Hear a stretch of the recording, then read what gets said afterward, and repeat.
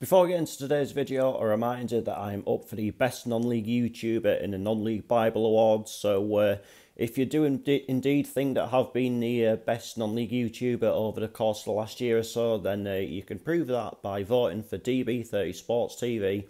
But in the link provided, just go down to the best non-league YouTuber category, uh, click on my channel's name, and uh, from there you just need to submit it. You don't need to fill in your personal details or anything.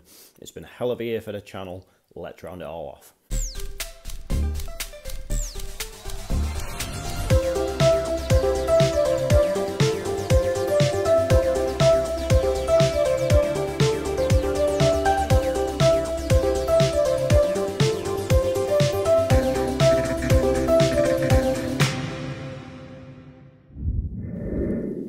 Yes, good morning everyone and welcome to a new video on the channel. It is Saturday the 19th of October 2024 and today we're heading over to Greater Manchester for what is probably the most uh, sort, sort, of seen fixture on this particular channel and uh, it is of course Altrincham versus Gateshead in the National League. Now uh, originally I wasn't uh, going to be able to make this game today but uh, things, the slight sort of change in circumstances means that I actually can so uh, Let's get into this. It is the start of a the new era today for the Heat, and I'll explain a little bit more about that later on. But for now, let's just get that train over to Manchester.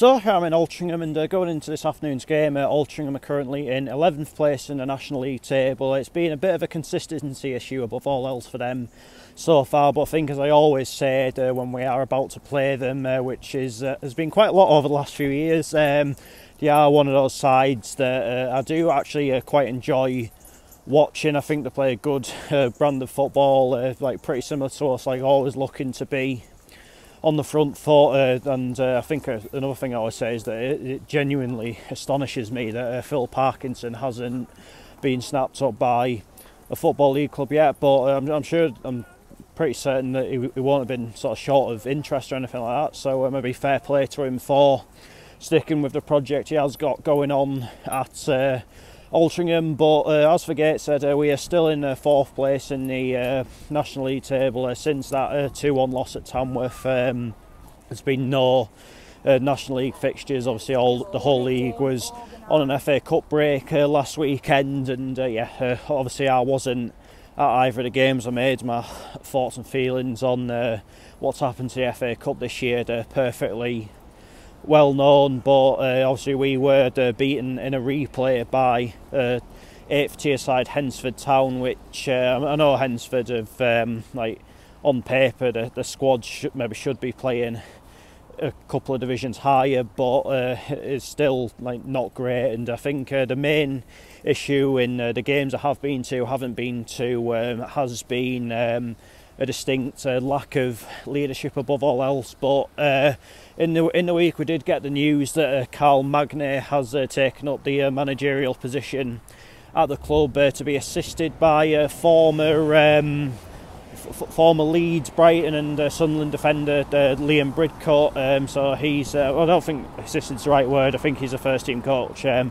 I don't think we've got an assistant manager of yet, but uh, it is good to see Carl Magnay back at the club, and I can see the logic behind that appointment. Um, I think it's a, another nod to the continuity. Like, think of it uh, since um, the first season under Micah, we've never really had like a mass exodus of players.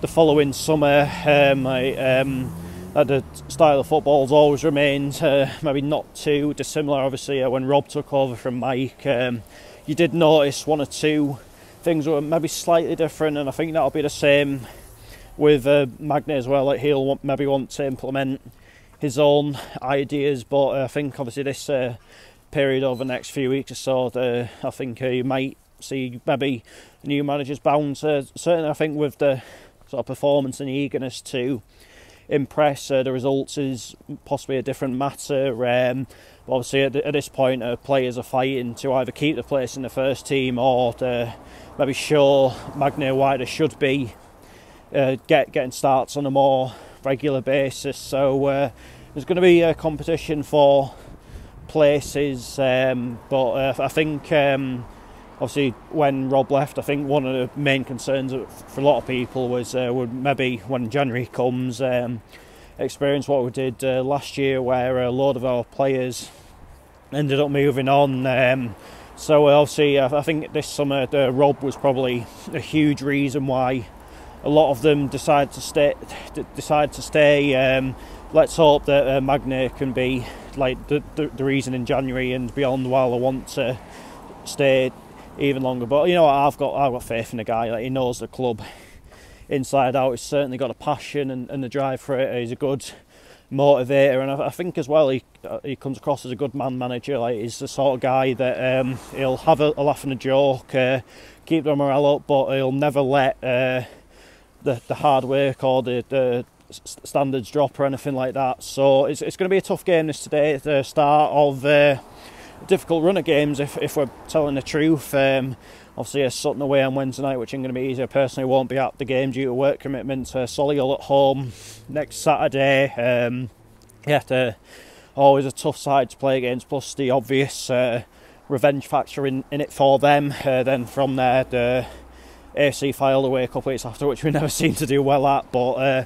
one game at a time, and uh, today is all about uh, seeing if we can carry on our decent record ground that uh, brought me a lot of good memories over the last few years. So uh, let's head on down to uh, Moss Lane, of course, via a good catch, and find out how it all unfolds. This is why you can't go wrong with this away day. So the ground's there, and the non the holy grail of non-league football is there.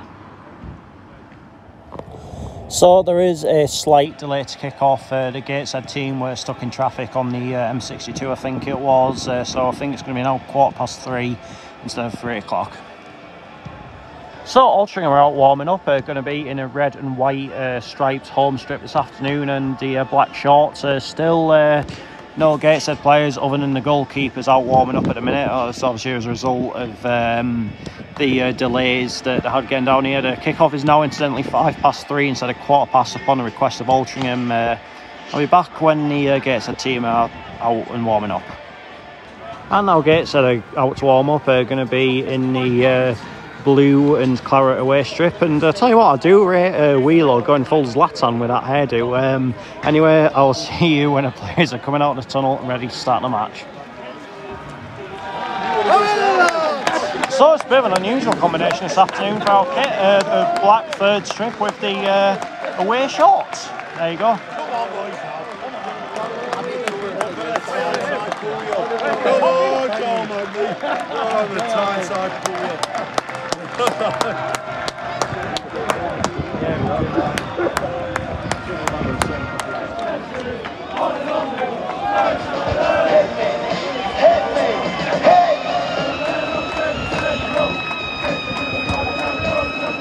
of an unusual song to play before the football starts. And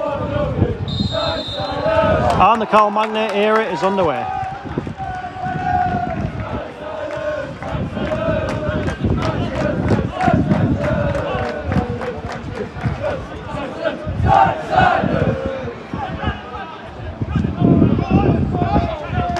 It's the first time I've ever been down here and I'll be absolutely tipping it down.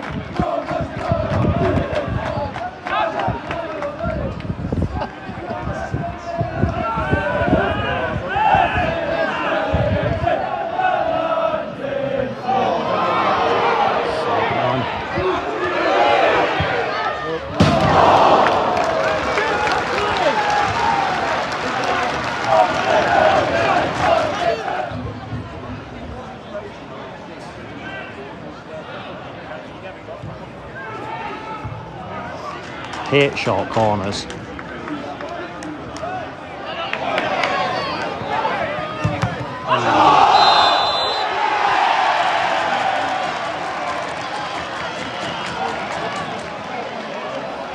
There's a blatant handball like.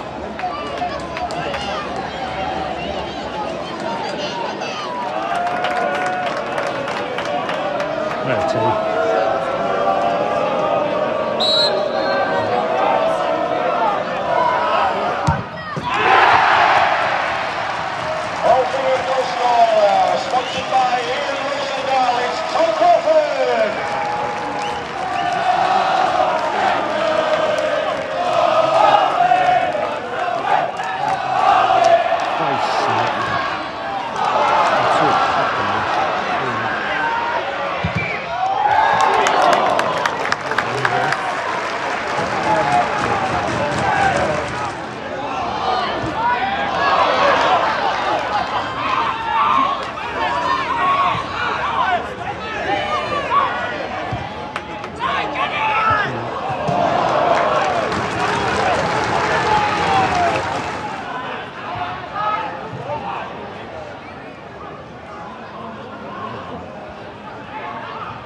One.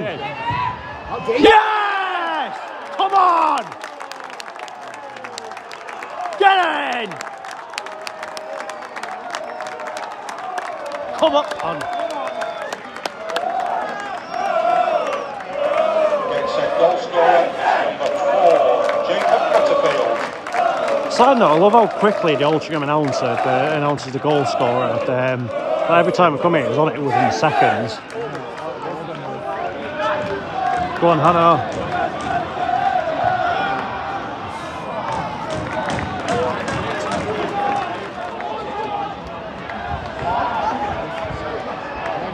Go on. Ooh. Go on. Yes! Come on! Get in! Come on!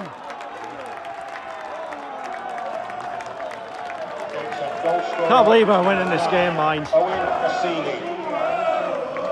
Gateshead. Whoa!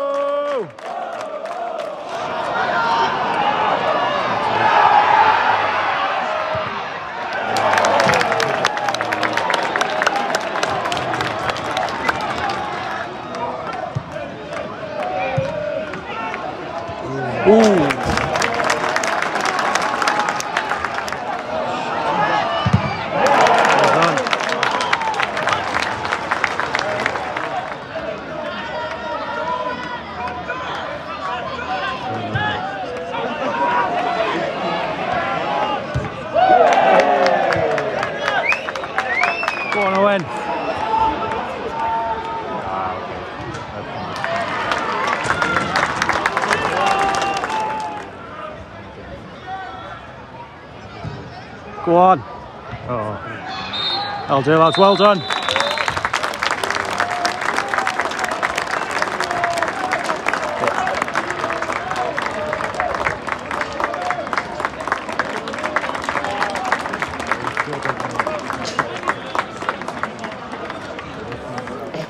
half time, Altrincham 1, Gateshead 2. Uh, for the most part, at half hour, actually uh, on the back foot. Uh, Altrincham have uh, had most of the play, most of the chances. Um, it was uh, maybe difficult for us to actually get out of our own half. Uh, the penalty, uh, I'm not going to lie, it was uh, absolutely needless. Um, like there was no real threat even with the cross coming in. There's no need to be putting your hands up like that. Just maybe get your chest, head to it, and put it out for a corner if need be. But yeah, no need to be putting your hands out like that. Uh, and uh, I, th- I, think we maybe rode the cusp of a wave a little bit with, the, uh, with some of the chances that um, Altrincham were creating. But uh, with literally our first moment of the game, uh, Jacob Butterfield's gone and banged one in to the corner from distance, and uh, we had a good uh, spell for like the for 10 minutes or so. And obviously, I took the lead through Owen Oseni, slipped, slipped through really well, slotted the ball away really well, and that is the reason we find ourselves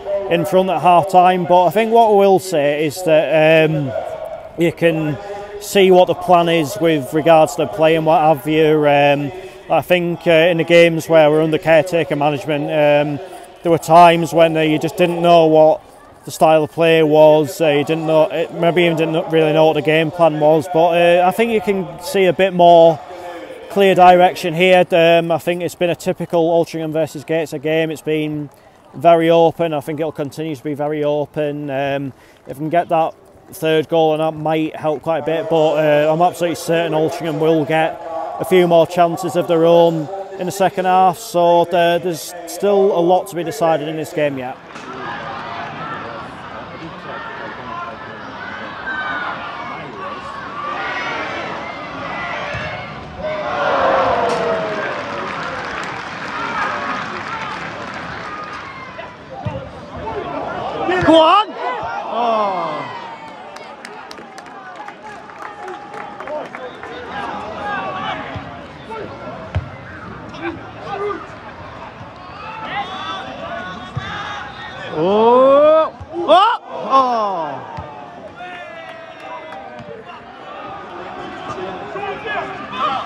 Jacob. Oh,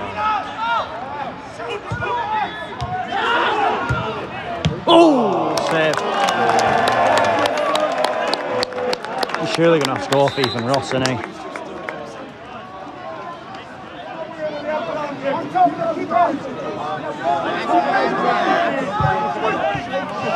Go on. Oh. Go on. Oh.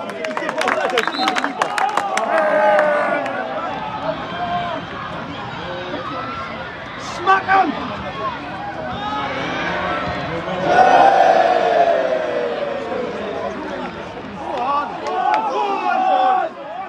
Go on!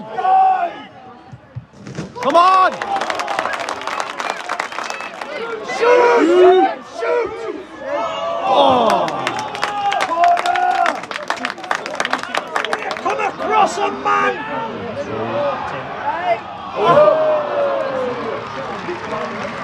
Ah, Yeovil, Yeovil was a great deal. Like. Yours keeps. Ben Radcliffe diving it up. Givers! Go on! Oh!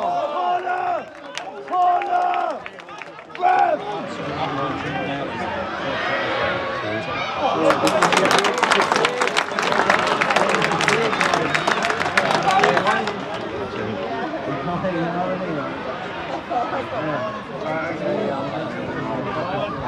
Come on, run! Get to it!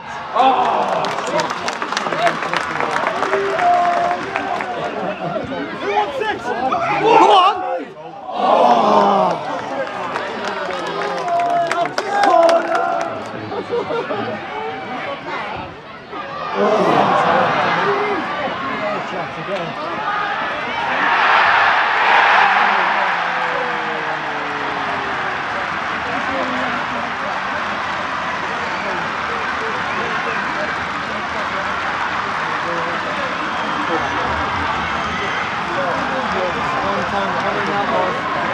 You're also going to go Go on, your van. One! Get in there! One!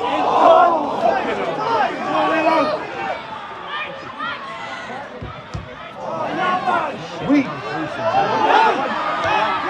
Shoot!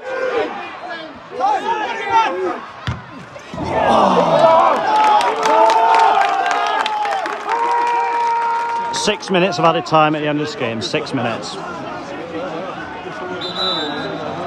Fourth official showing a minimum.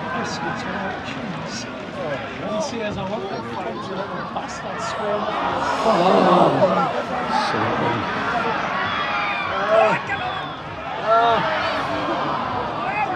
It's fucking lump it, man.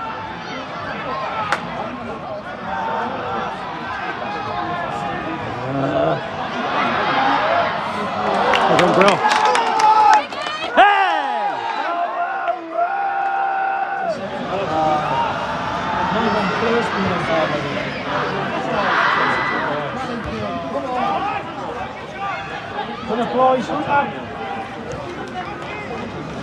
Oh, once. Oh my, go on. Probably the last chance this will be. I'm utterly convinced we're just bringing Mark Beck on here just to see if we can get on the end of this header from the free kick. No other reason, it's got to be. And it comes. Goes, full time. Not a bad point.